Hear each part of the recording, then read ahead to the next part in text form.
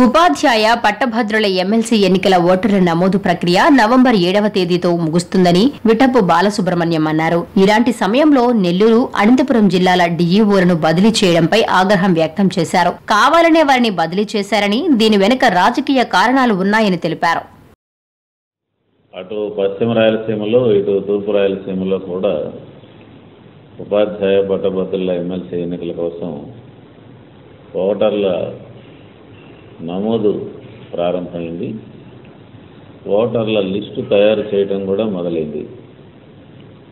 రేపు నవంబర్ ఏడో తేదీకి ఓటర్ల నమోదుకు సంబంధించినంత వరకు ప్రక్రియ పూర్తి కాబోతాం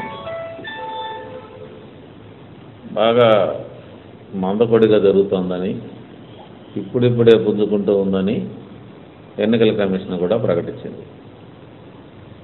ఈ క్రుషియల్ పీరియడ్లో నెల్లూరు జిల్లా డిఈఓని అలాగే అనంతపురం డిఈఓని కూడా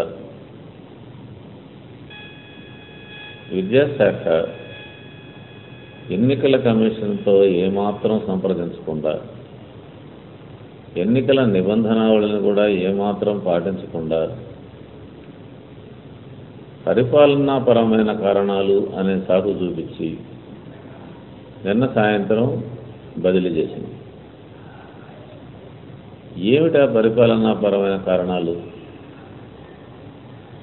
నెల రోజుల నుంచి ఈ ప్రైవేటు యాజమాన్యాలు అర్హత ఉన్నా లేకున్నా అసలు అందులో పని చేస్తున్నా పని చేయకపోయినా ఉపాధ్యాయులే కాకుండా ఇతర నాన్ టీచింగ్ స్టాఫ్ అయినా ఇప్పుడైతే కొత్తగా వస్తున్నటువంటి వార్త టీచర్లే కాకుండా బీఈడి క్వాలిఫికేషన్ ఉన్నా కూడా డిఓ దగ్గర కౌంటర్ సైన్ చేసుకొని ఓటర్లుగా నమోదు చేయించుకోవడానికి నానా ప్రయత్నాలు చేస్తున్నారు.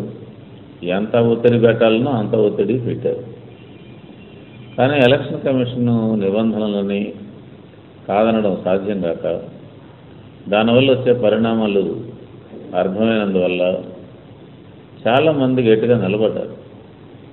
అందువల్ల ఇప్పటిదాకా పెద్దగా ఏమీ బోగస్ ఓటర్లో నమోదు కాల. ఇప్పుడిప్పుడే